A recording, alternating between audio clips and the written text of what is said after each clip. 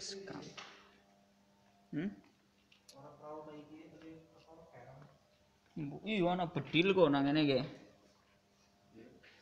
Iya ya, senapan bujang besalik milik Puyang Tuan Lebay Penghulu tahun 1830 Masehi yang bernama Bujang Besalik.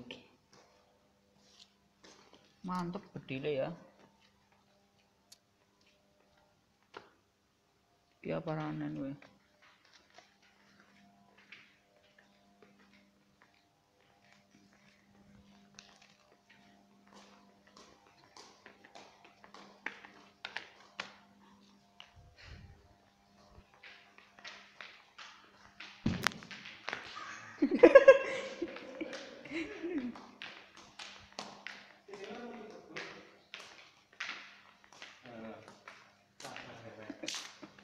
Ada temen ya.